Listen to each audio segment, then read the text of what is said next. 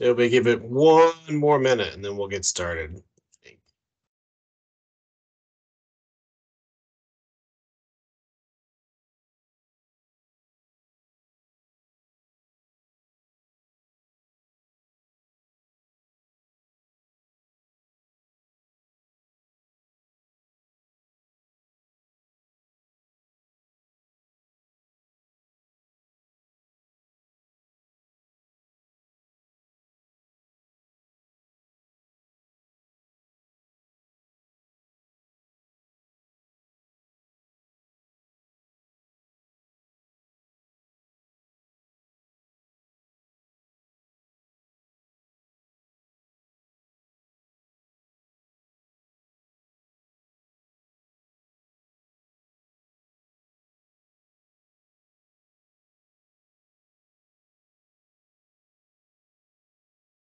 All right, I think I'm going to go ahead and get started. Um, it's 10:04 and hopefully, well, hopefully we'll get maybe one or two more people that will join as as we um, go along here. But I do want to be respectful of everybody, of everybody. I can't talk of everybody's time today. So, um, you know, I'm sure we're all busy. So, um, very quickly, I want to make uh, just a real quick introduction of myself, and then uh, later in the agenda, we'll we'll go around and introduce everybody else. But uh, my name is Brent Riddle. I'm um, the Title VI Policy Officer for uh, the Department of Transportation. Uh, I work in the Coordination and Funding Division at FCDOT. Um, and we are here today because we've invited you here today because we are at the, uh, we have a Title VI plan that has to be updated every three years. Um, and as part of that plan, we um, we look at and we evaluate the county's major service change and disparate impact and disproportionate burden policies. Um, and as part of that evaluation, we you know go out to the public, go out to individuals like yourselves to get your uh, feedback on the proposed policies. Um, and so today what what you will see is um, we'll have a presentation that really gets into details about the major service change policy that's being proposed and also the disparate impact and disproportionate burden policy that's being proposed. Uh, here's the agenda for the day. Um, and during that presentation, we'll invite your feedback, you know, all along, and then we'll have just sort of a general discussion at the end to, to wrap everything up. So with that, I think I'm going to uh, get to, can you go to the next slide, Russell? Thanks. So I think we'll start with introductions now uh, with the rest of the team. Um, like I said, I'm Brent Riddle with Fairfax County. We do have some other staff from Fairfax County that are here. And then after Fairfax staff is gone, uh, I'll invite the Foursquare ITP staff, the consultant team to, to make introductions as well. So Robin, do you want to go? Sure. Hey, I'm Robin Geiger and I'm Chief of Marketing and Communications for the Fairfax County Department of Transportation. Glad to have you. Kyle? Hi, I'm hi, I'm Kyle Davis. I'm a transportation planner with FCDOT, and I welcome everyone to the stakeholder meeting. Hey, June? Good morning, everyone. Uh, I'm Heijun Kang, working for FCDOT, the Transit Service Planning section.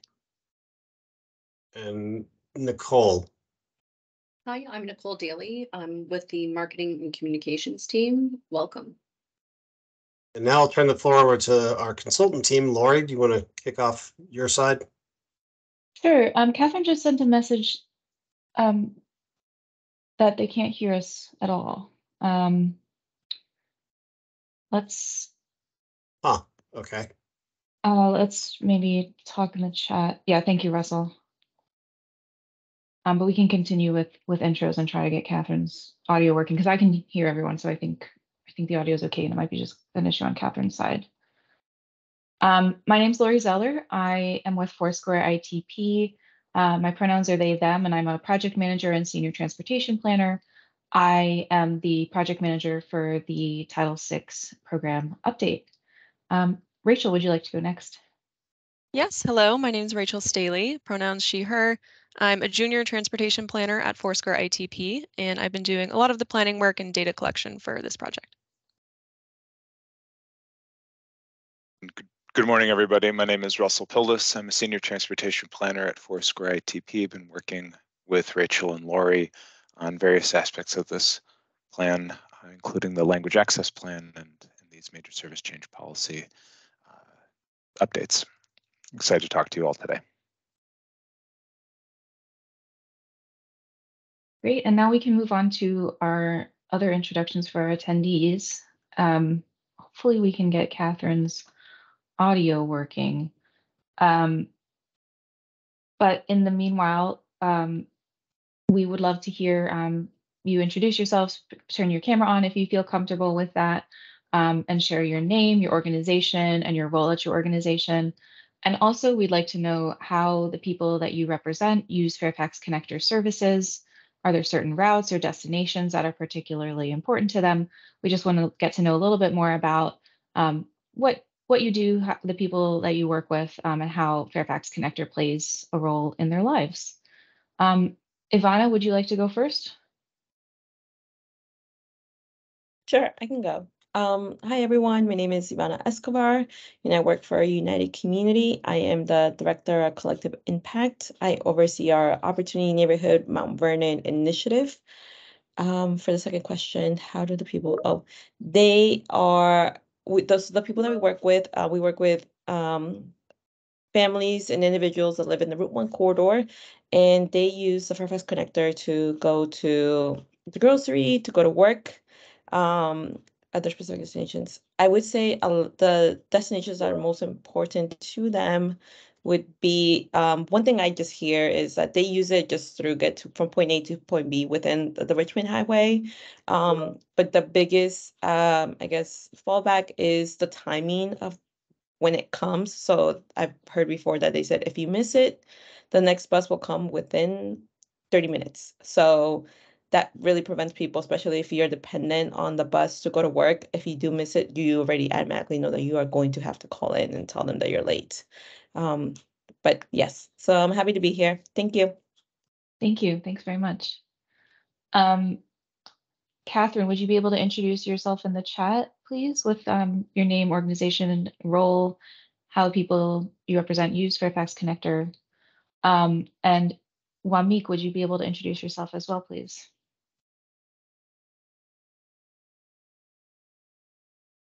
Good morning, everyone. I am Wamik Marshall Washington. I am the Director of Community Services with Cornerstones. Um, and I believe most of our clientele, just like Ivana just highlighted, use connector just to for everyday living, get getting back forth to work, for you know shopping, for visiting family, and certainly for attending services. And again, as Ivana highlighted, I think the the the greatest challenge is um, the length of time that it takes to get to point from point A to point B, um, and uh, the challenges that that presents from time to time, uh, particularly for our seniors or those with medical issues. Thank you. All right, and thank you, Catherine um, for your introduction in the chat. And we can um, move on to our next slide. So the purpose of today's discussion is that we have some specific outreach that we need to do that Brent had introduced for this Title VI program update. Um, so we're going to talk about the Title VI equity analyses and how they work and then the policies that are related to those analyses, because we're looking for community feedback on the proposed updates to these policies. Um, and when you're responding to your, the questions that we're going to ask today and providing comment, please um, think about it from the perspective of the people that you serve or represent or yourself um, from your own perspective. Um, and we want today's discussion to be interactive, so we'll be asking for your thoughts and questions throughout the session. Um, some of the policies that we'll be going through are a little bit on the complex side, um, so please uh, interrupt us at any time um, to ask any type of question that you might have, or any kind of clarification. Um, we are very, very open to that. Um, yeah.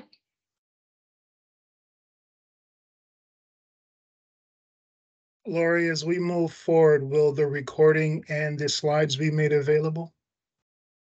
Um, Brent, what, what will we be doing with? We, I think we can share slides. I'm not sure, what's the plan with the recording? We It's a can put the question. recording, we'll we'll put the recording on the, our uh, Title VI website. And we'll make that available to you. Thank you.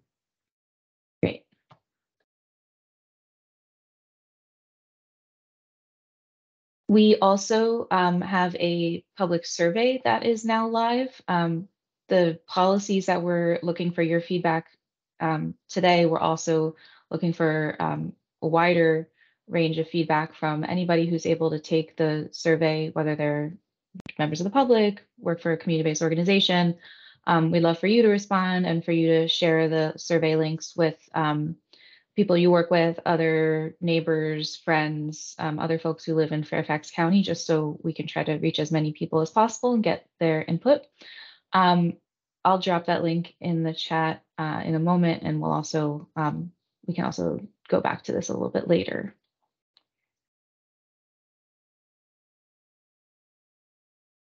Okay, so before, yeah, before we dive into the policies, I'm going to talk a little bit about the Civil Rights Act and Title VI and give a little refresher on what it is,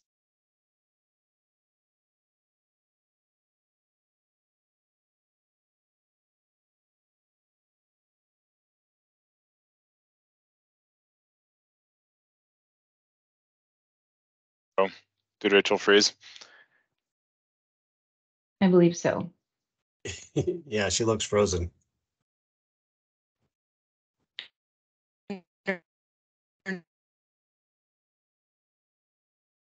Is going in and out. Can you all hear me? Sorry, my internet got weird for a minute. Yeah, You're- yeah. You're, you're We back. didn't hear. We hear. can hear you now. We can hear you now, and we didn't hear Okay. anything you said on this slide. Okay, great. So getting back on, Title VI is part of the Civil Rights Act of 1964 and essentially states that if a program or activity is receiving financial assistance from the federal government, then no person should be discriminated against or denied participation based on race, color, or national origin. So what exactly does this mean for transit? So if we go to the next slide, we know that Title VI is focused on discrimination with, within federally assisted programs, and FTA distributes federal funds to transit providers. So when transit providers receive any type of funding from FTA, they must comply with Title VI because that funding is coming from the federal government. And FTA has released the Title VI circular, which outlines the specific compliance actions that agencies must follow. And then FTA recipients can submit those circular requirements every three years in order to comply with Title VI. So what does this look like in practice? In order to meet those requirements outlined in the circular, transit providers that are receiving federal assistance are required to submit the Title VI program update to FTA every three years. So the previous FCDOT update was in 2020, so we're now here three years later to update it again. And the purpose of the document is to show that agencies are not discriminating based on race, ethnicity, or national origin, and to detail the specific steps that they're taking in order to prevent future discrimination. So I'll pause here for a minute. Uh, does this make sense? Do we have any questions about Title VI?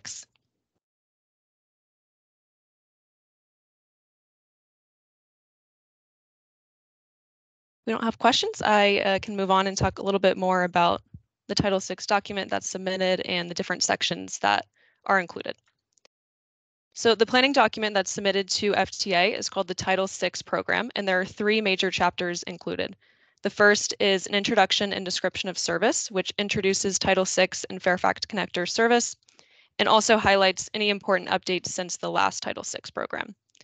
The second is a description of service and planning for Title VI, which includes various procedures, demographic and travel patterns, and also the public participation plan and language access plan, which describes the language needs throughout the county and highlights resources available to residents with limited English proficiency.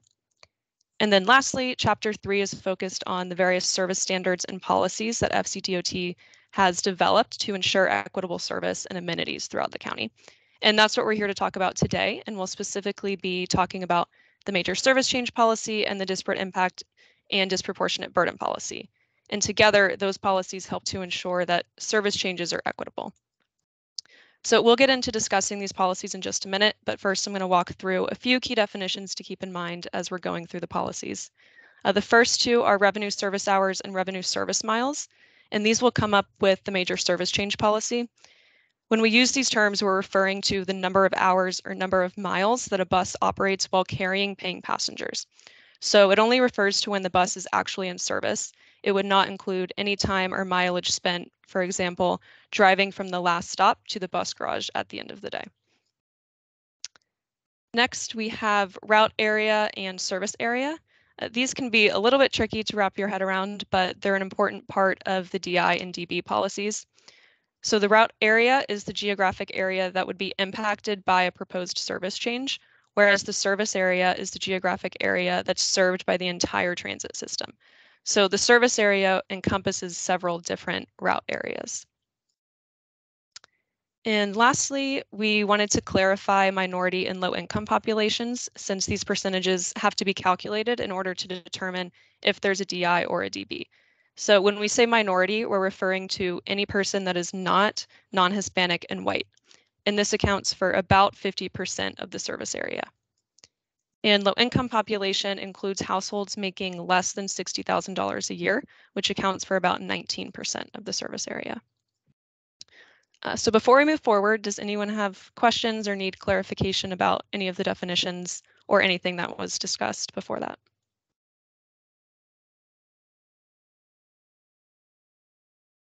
And I don't know if everybody is familiar with Teams, but there's a raise hand feature on the top of your toolbar. So if you do have a question, uh, and, you know, feel free to use that or speak up, but just letting you know what your options are.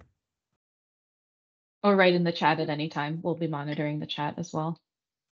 I'm not sure if this is the best time to ask this question, but since we're here, um, it says that um, low income population is 19% of uh, Fairfax County, but what percentage of those that use the service would the low income population be?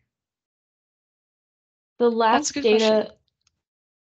the last data available for that were from, and, and staff, please correct me if I'm wrong, but I think the last data available for that were from a 2019 survey of riders.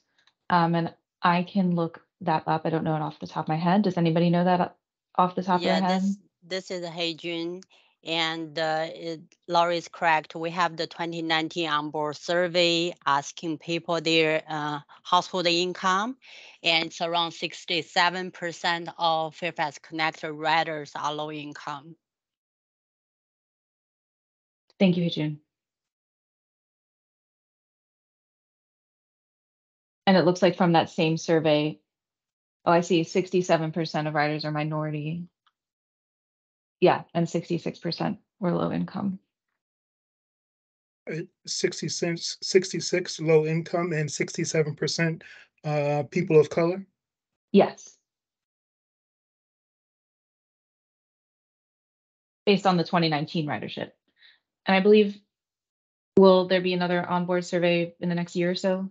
Yeah, we do have the um, the new onboard survey planned for the fiscal year 24.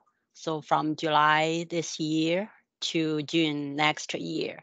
So um yeah, generally we found basically our riders are more like minority or low income. They tend to ride buses more compared to other groups of population.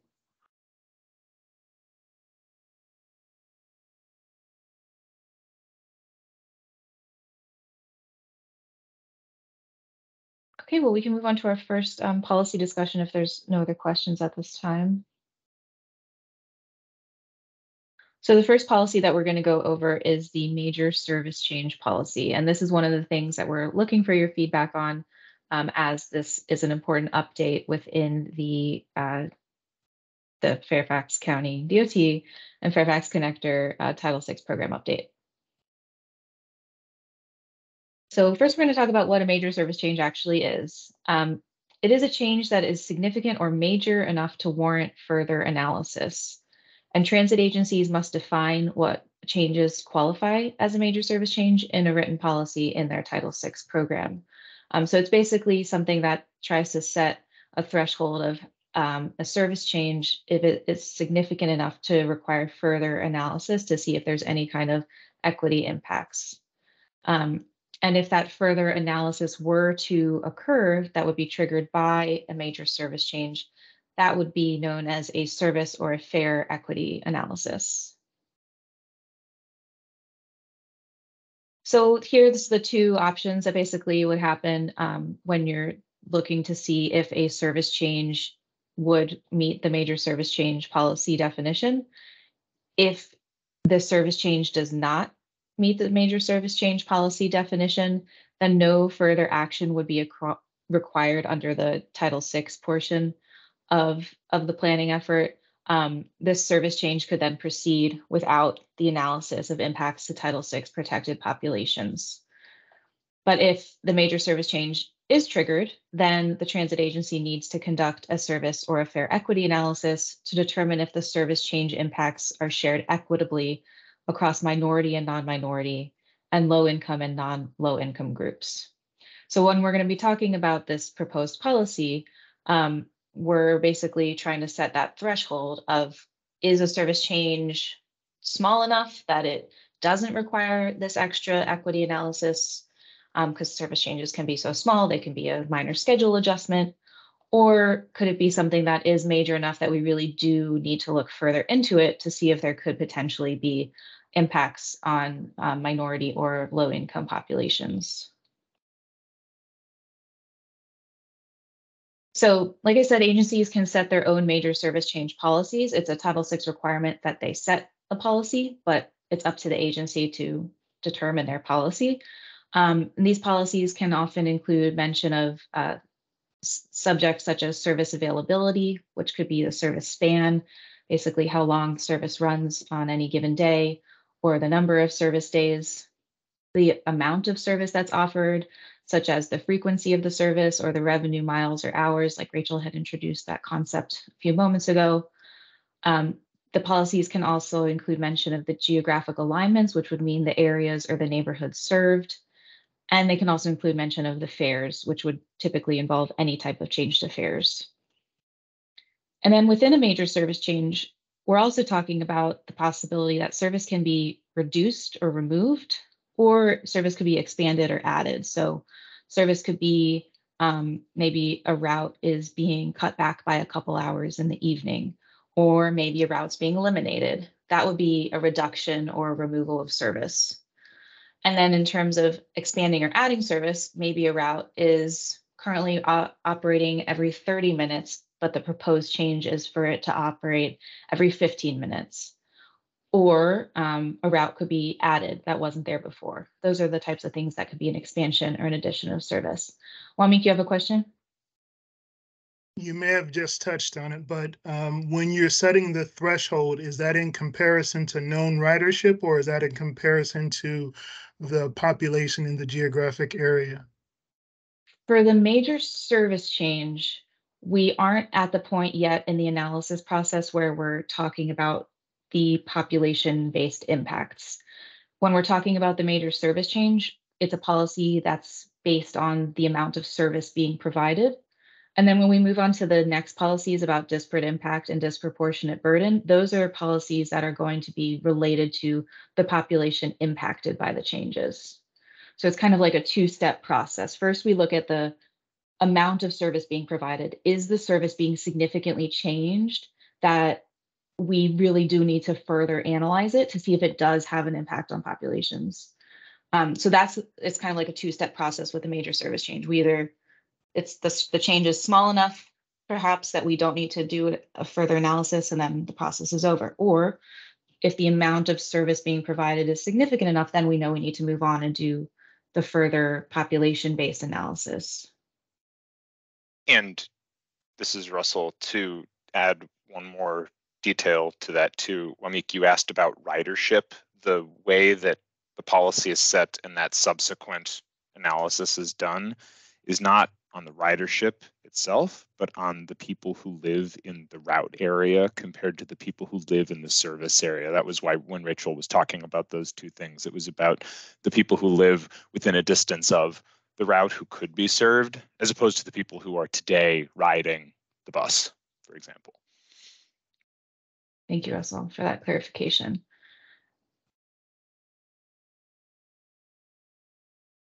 Okay, and then we can um, just continue back on the major service change policy. Sorry, Russell, I think there was one more bullet on that slide I needed to get to. Um, right, okay, we said this already, that we are uh, required to revise and conduct outreach on the policies with every Title VI program update, which is every three years. So that's what we're doing today. And there are, are some exemptions to major service changes. Um, anything that's a seasonal service change, like adding or removing a route or trips due to seasonal demand, wouldn't have to go through the process of being evaluated for a major service change. Any type of pilot or demonstration route, so like trying out a new route to see if maybe there's enough ridership, if people are interested enough in riding it. Um, if that's being piloted for 12 months or less, that actual pilot program doesn't need to undergo the process of evaluating if it's a major service change or not. Um, if the route continued after 12 months, then of course that process would have to happen. And then also temporary service changes of less than 12 months. This could be changes due to weather or other emergencies or events. Um, any type of changes like that uh, wouldn't be subject to the major service change. Okay, so now we're at the actual recommended policy for major service change. And the recommended policy is a major service change is defined as either an increase or a decrease of 25% or more in either daily revenue service hours, revenue service miles, or both for the individual route being modified.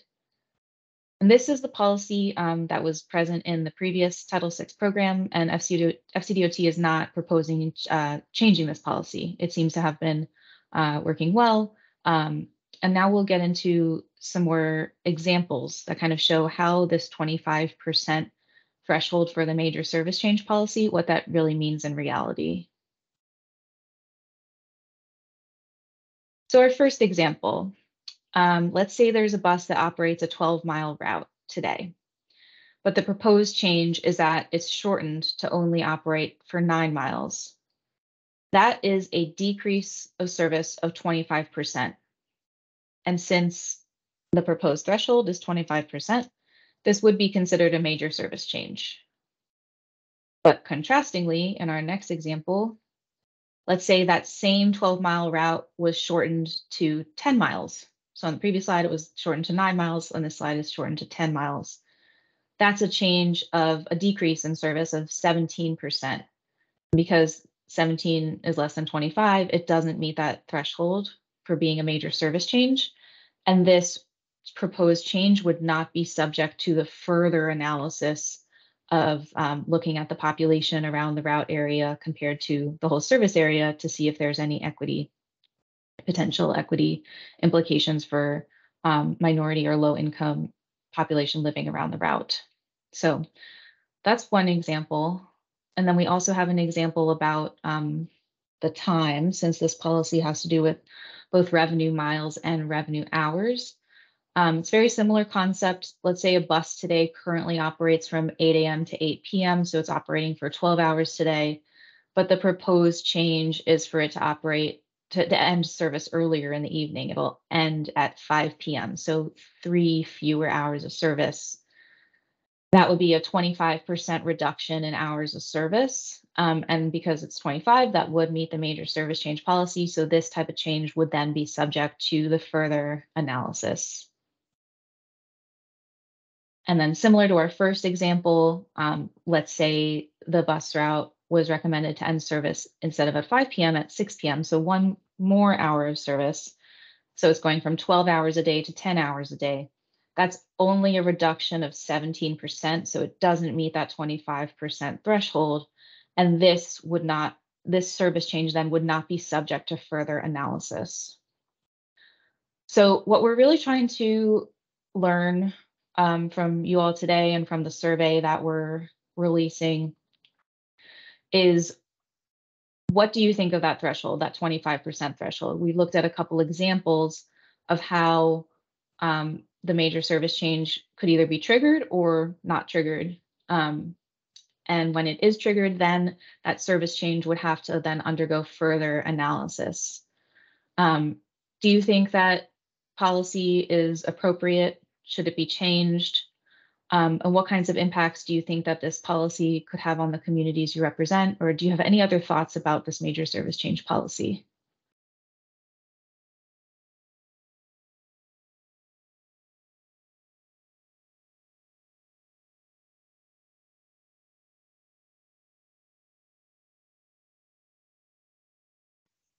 Um, I can start. Um, I would say if one of the biggest impacts that we know is even when there is a change of destination, um, we hear from some of our community members that um, if you are new to the area, there is it's hard to um, learn the bus system in regards to routes um, because they have listed that there are some bus stops within the Route One corridor where it doesn't tell you what bus is coming.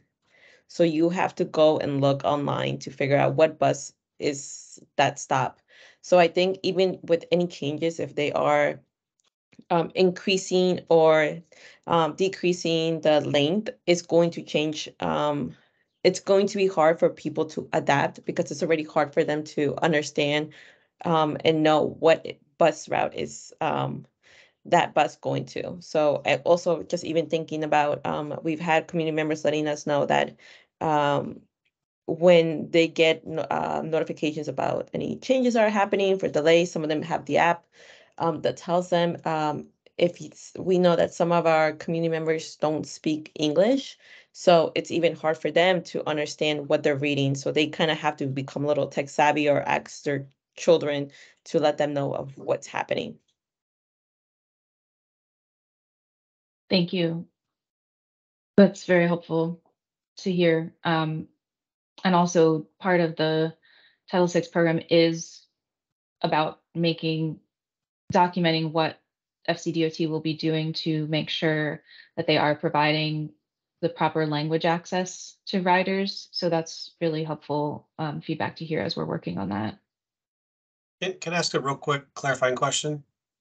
So it sounds like some of the bus stops you're saying on Route One in particular are, are, are Richmond Highway are not uh, marked clearly in terms of which routes stop there. Is that, Yes, that's correct.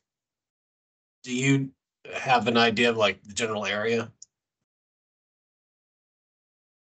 It, um, Or is it all along the entire length of, of Richmond Highway? it's, it's some, it's, I know there's four in particular. I don't know exactly where they are. Um, and I just know because we had a community member who actually took the wrong bus trying to get to us. And she, it Oh, was no. because she, because she was on the bus stop thinking that was, the bus was gonna pass through there. And she let me know there that, um, she she took a picture and she said, it doesn't tell you what buses are coming here. I thought all buses pass by here. And I said, oh, I'm so sorry. And I, Yeah. I don't use the bus system in Fairfax County, so I was letting her, know, I was like, I, let's figure it out. Um, but I will say there are, there's, there's three to four that don't have, um, that does, there's, it doesn't tell you what buses ex- are passing by. Okay. Well, thanks. Uh, it's really good feedback in general, so appreciate that.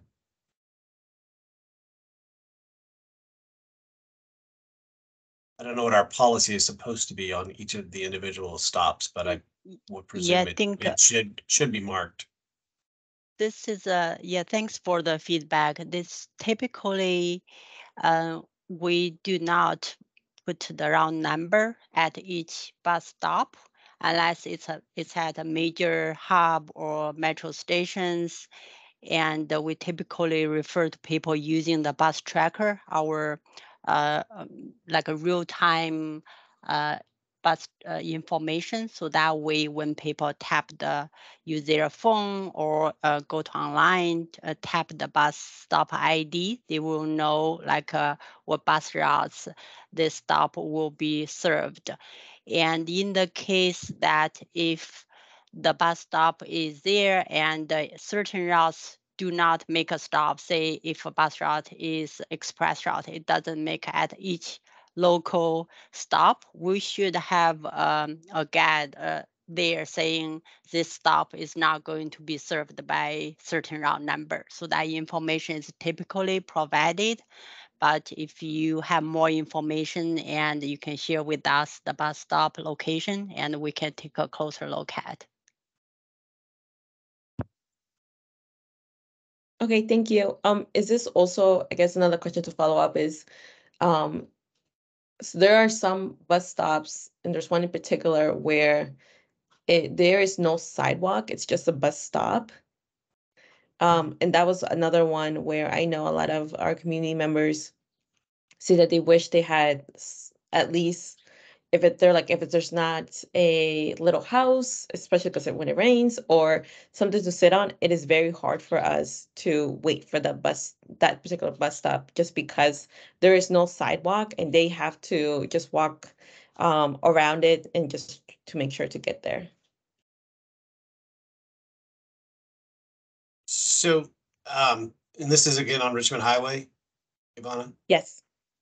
Yeah, so the Richmond Highway corridor is, is going to be undergoing a, a, a massive facelift when the uh, Richmond Highway BRT system, the bus rapid transit system gets installed and they'll have sidewalks on both sides and shared use paths and so forth in various locations. So um, I don't know specifically where you're talking about, but I, I, I can tell you that I, the infrastructure along uh, Richmond Highway in terms of getting to the bus stop should improve pretty dramatically in the near, you know, next five to ten years.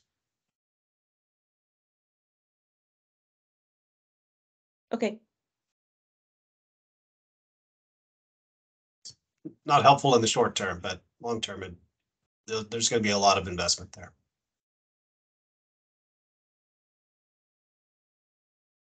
I have a more general question. So with twenty-five percent being the threshold, um, what is the recourse if you find that you and people in your identity class are affected by a change, but it doesn't actually break the threshold? Is there any way for your concerns to be heard um, and or processed?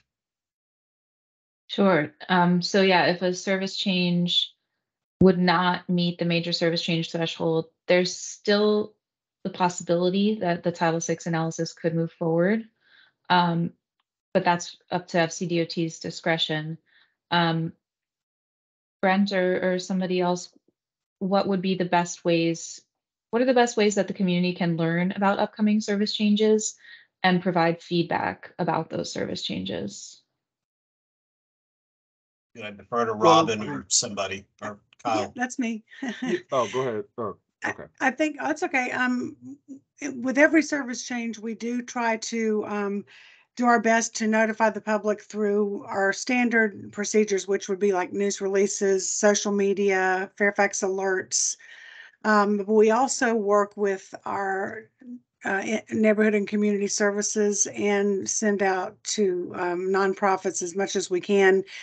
And with our new um, engage Fairfax framework and policy, we're trying to um, even do a better job through, uh, you know, working with nonprofit partners to make sure they know um, about what's coming up, meet public meetings, so they uh, we can get as many people as possible to participate and um, have real engagement um, from people who ride connector and who uh, you know need to make to give input that that would make our um, service changes work for them. So uh, we're branching out even further in terms of identifying languages spoken in different areas of the county um, and vulnerable neighborhoods. So um, we're we're trying to just continue to improve in our outreach efforts, and we welcome, eh, you know, working with folks from nonprofits is like you know putting a pebble in a pond and hoping that the message gets out, um, that you could help share the information um, when you receive it,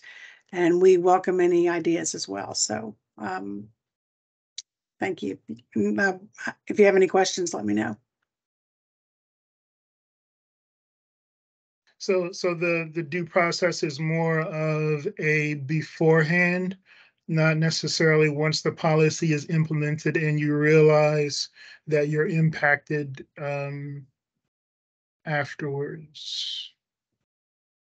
Well, I think that the nature of connector and our service change uh, and outreach in terms of trying to make the system work for people and make it better is that it's kind of a living, you know, evolving um, service because we go out for service changes. Um, and I do know that our planning team also checks to see if things are working, um, you know, working and, and making sure that things are timely and, um, you know, routes are on time. I mean, there, there's the after effect of making sure, you know, that, um, what has been planned is working, but, but by and large, our, most of our service change, um, outreach is done before the service change occurs. But, but we're looking, you know, things are evolving over time all the time. So we always welcome comments from folks um, who ride Fairfax Connector to make it work for them. But the official formal service changes, we do a lot of outreach before.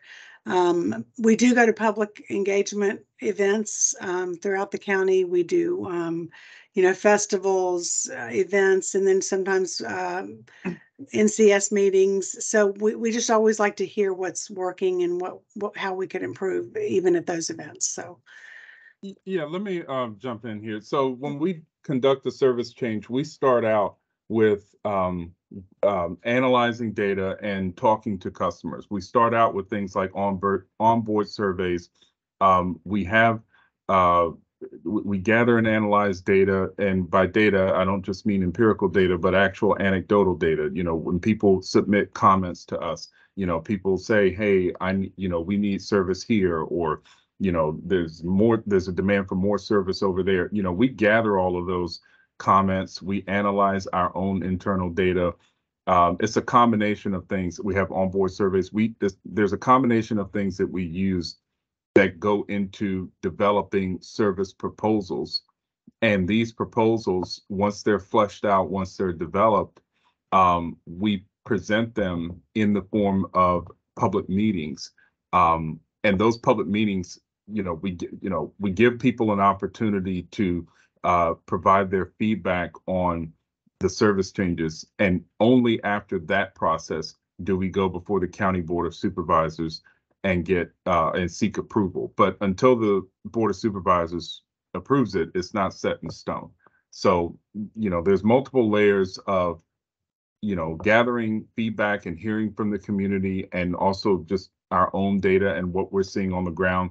And then even then, you know, having people provide feedback at public meetings uh, before going to seek official approval from uh, elected officials. So um, that, that that's essentially the process and how we make sure that we retain community engagement and community involvement in every step of the process. And I would imagine there's an evaluation um process afterwards. Yes, yeah, I, right. When we have a public meeting, you know, we look at all of the feedback that we have uh, before and after the public meetings in order to determine if there's issues that we need to uh, take another look at, uh, retweak, retool, however you want to say it, and you know, we we act accordingly. So very quickly, this is Brad. I, I just want to be cognizant of the fact that we don't have a whole lot of time left allocated for this and want to make sure that we get through the rest of the, of the presentation. So, Yeah, we should move on to the DIDB uh, portion now, so we can make sure we cover that policy as well. Okay, well, thank you for the discussion though on those things. It sounds like we're learning some things, which is good. Um, I'm going to talk for the next little bit about the disparate impact and disproportionate burden or DIDB policies. This is the next step after a major service change evaluation if we determine or if Fairfax DOT determines that uh, that a service change is in fact major. So we've been talking about this for a few minutes. Every service change is evaluated to see if it's significant, if it's major. And if a service change is determined to be a major service change, we do a service or fare equity analysis to figure out whether that ser major service change has equity impacts or not. We have two kinds. One is a disparate impact, which is the effect that it may have on minority riders, and a disproportionate burden, which is the impact that it may have on low income riders. And Fairfax DOT sets policies, DIDB policies, which help determine if a major service change will result in inequities or inequitable impacts. So we have this kind of waterfall from major service change, uh, equity analysis, and DIDB determination. So what are we talking about here? Uh, we have we've talked we've identified these two types. These are the technical definitions of disparate impact and disproportionate burden. A disparate impact is a policy that appears neutral, but whose impacts affect racial, ethnic, or national origin groups in a substantially non-neutral way. Likewise, disproportionate burden is a policy that appears neutral, but impacts low income populations far more than non-low income populations. DIs and DBs can occur in two kinds of situations. They can occur when service is removed or reduced, which I think is a more obvious kind of example where there are fewer bus stops uh, proposed or shorter operating hours, or as you all have mentioned, when frequency might be reduced. Uh, if the bus is no longer coming every 15 minutes, is coming every 30, or go from 30 to an hour, or something like that. Um, service changes that remove service disproportionately used by minority or low income communities are said to have a uh, disproportionate impact, or sorry, disparate impact or disproportionate burden. Likewise, DIs and DBs can occur when service is added or expanded, which might be a little bit counterintuitive, but if service is added in an area where the population is mostly a majority racial, ethnic, or national origin group or not low income, uh, and they end up having a lot more access than minority or lower income groups, then the expansion is still creating a significant difference that disadvantages the minority and low income groups. So uh, both situations can have a DI or a DB finding. So um, as we said, whereas DIDBs occur when services, I'm sorry, um, we can have both DIDBs when service is removed, which is a situation where minority or low income populations receive an unfair cut to service, and DIDBs can happen when service is expanded where non-minority or non-low income populations receive an unfair benefit. The point is to make sure that service is fair across all these different groups and in all these different areas. I'll stop for a second. Does anybody have any questions about DIs and DBs and the addition and reduction directions that we can find these things in? We're going to go through a calculation example in a second, but conceptually, it's making sense for folks.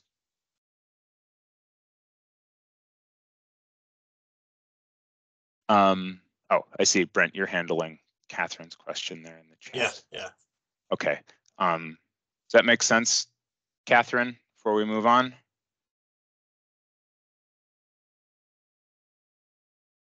Yeah, the, the rules, the, the Yes, federal policy that governs uh, people with disabilities is the American Disabilities Act, uh, which is a separate, you know, set of policies and concerns that we're not addressing here today.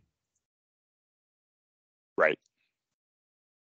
Right, Title six doesn't, doesn't necessarily cover that, but there is a separate policy for that too. Okay, so I'm gonna keep rolling. Um, so how do we actually determine if a DI or a DB has occurred? The question we're asking is how much will a service change impact minority or low income populations in the route area, which we talked about before, relative to the minority or low income populations in the broader service area. Uh, the DRDB policy sets percentage thresholds that determine what counts as a disparate impact or a disproportionate burden. The calculation is a little different depending on whether you're adding or removing service to make sure that it's fair. And federal guidance in that circular document that the Federal Transit Administration uh, publishes uh, for Title VI has this um, guidance that transit provider thresholds that the agencies set should be tripped sometimes. You should trigger a DRDB periodically. You shouldn't always be finding disparate impact or disproportionate burden, but periodically you should. So you should be on the line and under, you know, really have a policy that's tailored to the area.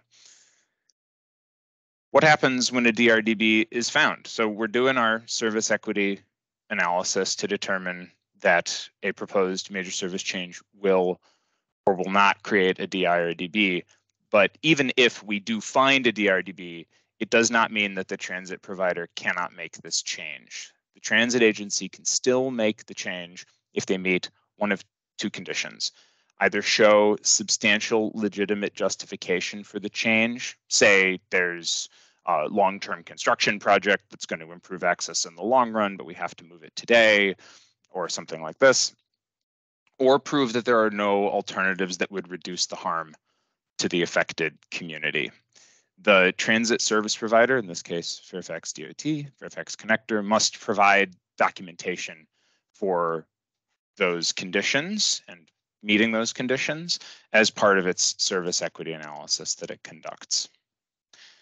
So we've talked about this a little conceptually. On the next few slides, we're going to go through some examples that utilize this policy and the calculations uh, to show you how this would work in practice.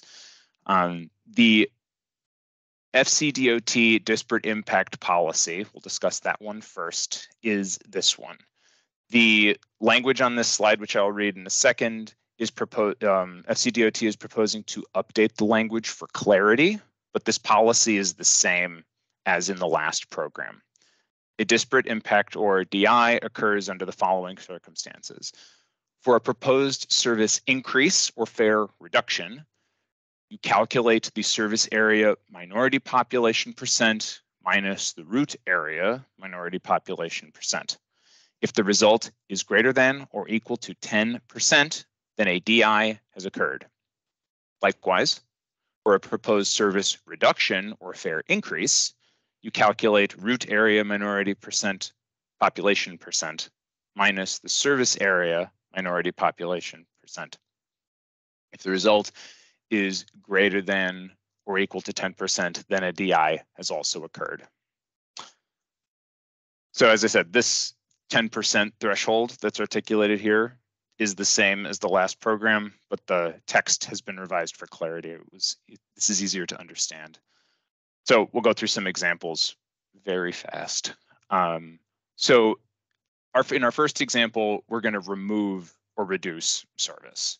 Um, our service area, as we discussed at the top, is 50% minority. And in our scenario here, the transit agency wants to eliminate a route. So applying our policy as long, as, long as fewer than 50% plus the 10% threshold, so 60% of the people living in the area of the affected route are minority, the service change passes the service equity te test.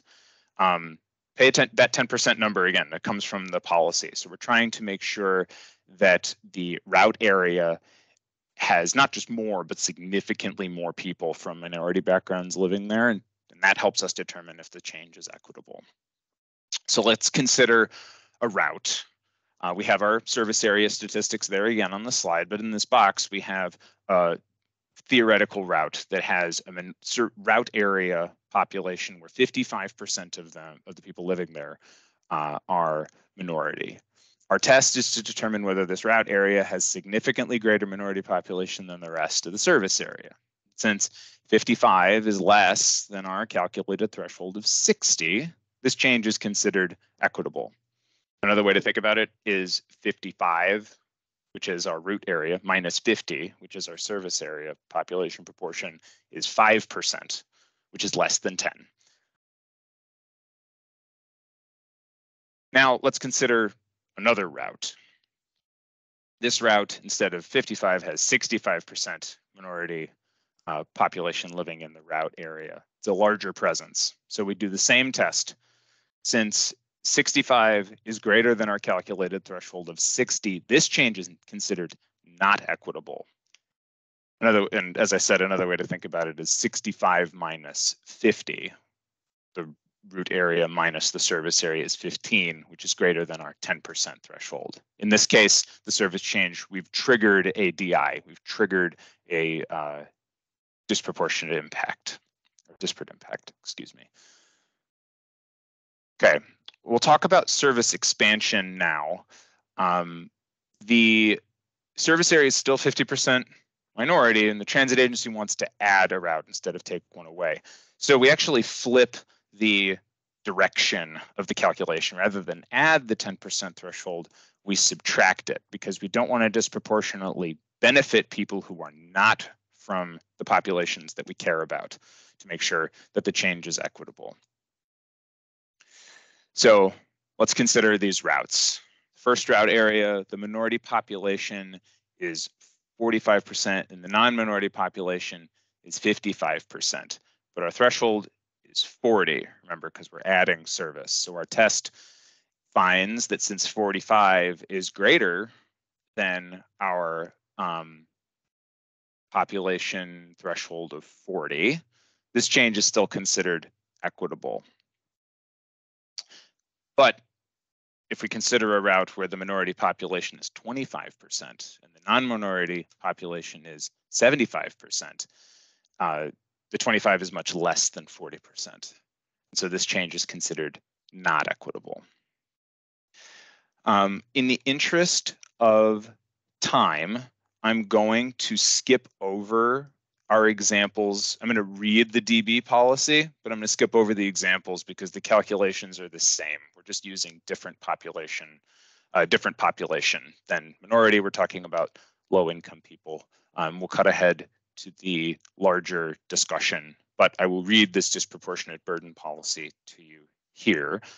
It's uh, as before, FCDOT is proposing to update the language for this policy, but the threshold is remaining the same as under the prior program. A disproportionate burden, DB, occurs under the following circumstances. For a proposed service increase or fare reduction, calculate the service area low income population percent minus the route area low income population percent. If the result is greater than or equal to 10%, then a DB has occurred.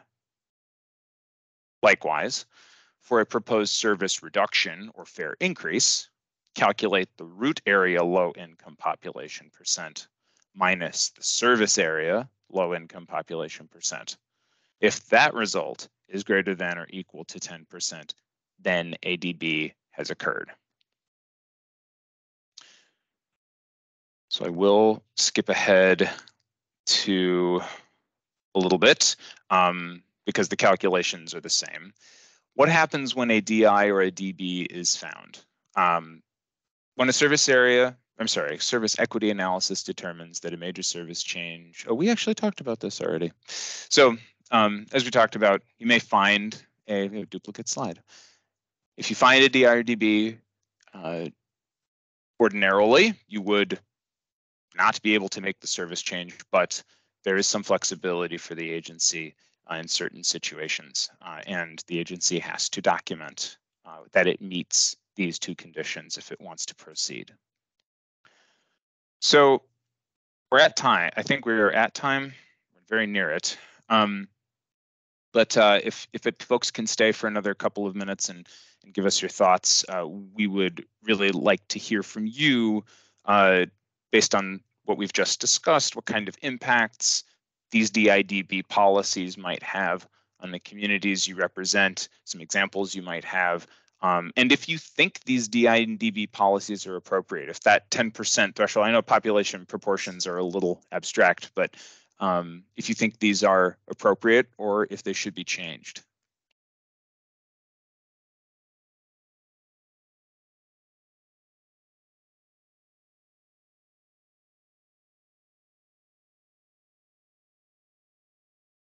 Or if we can clarify anything we just talked about. I know I went through it very quickly. Um, my question is, um, if for these changes, are you guys going to have um focus groups to talk to the community about their um perspective of the changes? The outreach that we're doing, oh, sorry, Brent, you want to go ahead? Oh, go ahead. Go for it. So the outreach that we're doing for these policies includes the discussions that we're having with stakeholders um, today and tomorrow, and the public survey that we have released. And actually, let me send that link now because I didn't send it earlier. Um, the release of those policies, maybe Robin, could you talk a little bit about the kind of promotion of this opportunity to engage? Sure. Um, we'll be, we'll- actually, we're going to be sending out a news release today. The survey opens today. It's open through May fifth. Um, and we'll also be sending it to, um, our nonprofit groups, um, and, um, working with our, uh, community partners as well as our, uh, neighborhood and community services and our other county agencies to share as well. So that, that's going to be going out today, um, to invite people to participate in the survey. And um, it goes through May fifth. And you can participate in the survey or um, you can, uh, the information that will be sent out, you know, people can call, they can write um, and snail mail to an address um, or participate in the survey. So, Yes, but please dis- disseminate it far and wide to- to to the people that you work with, your constituents would be, would be really I helpful. appreciate it. Yeah. Also, Is just some there Say again, Ivana. I was gonna say, um, the link that you guys provided, when I go to it, the Spanish version takes me to an Urdu um survey. There's no Spanish translation. Thank you. Yeah, that look, that link looks like it needs to be updated. I'll go check and see what's happening. The rest of them look correct. Thank you. Thank you. Sorry about that. We'll fix it. Is there a correlation between the policies that are being proposed and actual proposals? Because making the connection between the policy and actual changes, it's, it's a little abstract. Um, and so, you know, the policy sounds good. Um, but since we know that we're talking about a subset of the total population, I'm just wondering if you know, the thresholds that you're proposing, um, if it's sensitive enough, sensitive enough to pick up on, you know, um, impact. Um, and then in terms of getting the information out to ridership or potential ridership and having them give feedback, um, I think without an actual connection to the policy and an actual proposal, that's going to be a little challenging to do. Those are, those are really, really, really good points. Um, it, it is difficult to sort of understand this out of context. And it's, it's a challenge that we definitely have in communicating what's being proposed to you without sort of giving you some sort of real life example to, to look at. Um, I can say we have done these analyses in the past um, on previous, you know, other routes and other, you know, service changes that we've done. Um, and we could, you know, possibly share those as examples, but they're pretty, you know, I- I, I don't know how meaningful they'll be for you to read through, but uh, that's one thing we could do. But there's And no way of part of really knowing moving forward if like if there are current policy or proposals that are on the table. Yeah, we Yeah, don't this have it. process, Go ahead, I'm sorry, Sorry, Brent. Laura. I was gonna say this process happens outside of any actual proposed service changes, just the policy updates are kind of Right. happening on their own and then any types of service changes that would happen after this update to the Title VI program would then be subject to these new policies. So Yeah. um, as part of the program update, we do document um, how, like over the course of the past three years, when these analyses have occurred. So in part of our work up until this stage, what we've been trying to do is eval is to evaluate um, how well these policies worked over the last couple of years Mm. did they result in some service changes meeting the major service change threshold and then requiring further analysis? And the answer is yes, there were a number of service changes that met the major service change threshold and then required further analysis. And then we also analyzed, once they got to that service equity analysis phase, um, how much of these changes did trigger a DI or a DB finding. And some of them did. I think it was very few this time. And I was just trying to check and I couldn't find it. I think maybe there was one or two. Um, and when we set the policy, what we're trying to do is to set it to the point where um, I think, and Russell had talked on this a little bit, is that we're trying to make sure it's set at a place where sometimes a DIDB will be found and sometimes it won't. So we don't want every single thing to trigger DIDB. That would probably be overkill and not an accurate representation of what's actually happening. But we also don't want it to be set too little that we're not getting any kind of meaningful result. So when we looked at what was happening over the last couple of years with these same thresholds, um, we were finding that it seemed to be a reasonable place to set it. And those all those updates will be included in the public facing Title VI program when we release that later this year. I think sharing historic effectiveness um, or historical effectiveness would be would be good. Absolutely. I will also highlight that um in the survey, one thing I know with working with community members is that just be careful when using specific academic words. I know one in particular, when we highlight disproportionate, a lot of community members don't know what that means. Um, so just even using that, breaking it down to them or something that highlights that. I'm doing the survey right now, just trying to see what questions are being asked um, and what questions I know may rise from community members, and that's going to be one of them. I've been previously in a meeting with them two weeks ago. Um, they used the word disproportionate, and a lot of people did not know what that meant, and we had to explain to them. So just even um, there's going to be some words that are too academic, so just if there's a way to just breaking it down, or maybe using a different word that can help them understand um, what is being asked. That, that's a really, really good point too. Um, unfortunately, we're also sort of constrained by this is a federal policy and these are federal definitions. Um, but maybe we can find ways to, you know, use different vernacular, different different language to, you know, communicate the same concepts.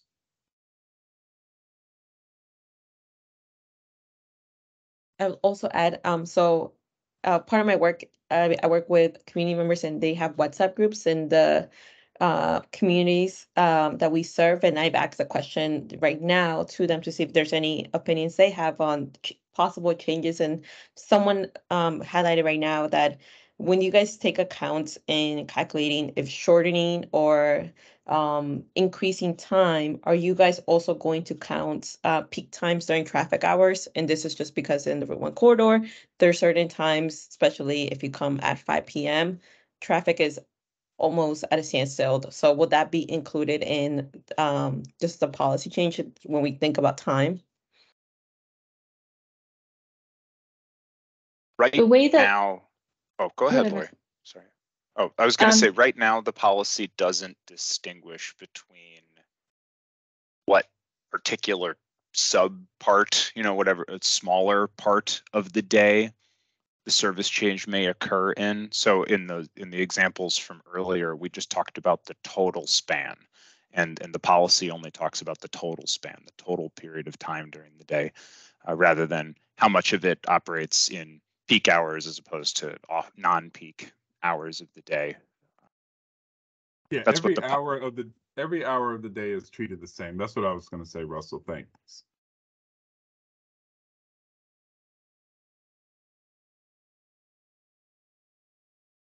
Okay,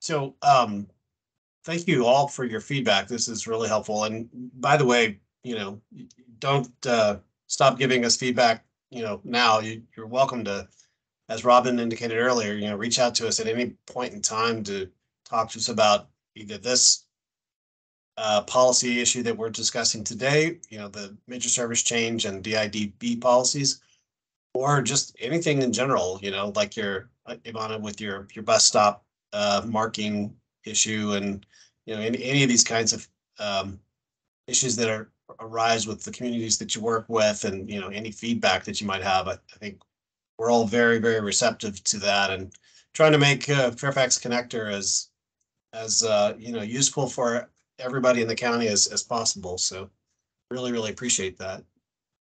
Do we have any other closing comments or thoughts from, from Lori, from anybody that we have everything that we need? Yeah, thank you all very much. Very helpful feedback. Yes, thank you very, very much. Thank you. Thank you. Great, thanks so much. Have a good rest of your day. Thanks, Thank everybody. you.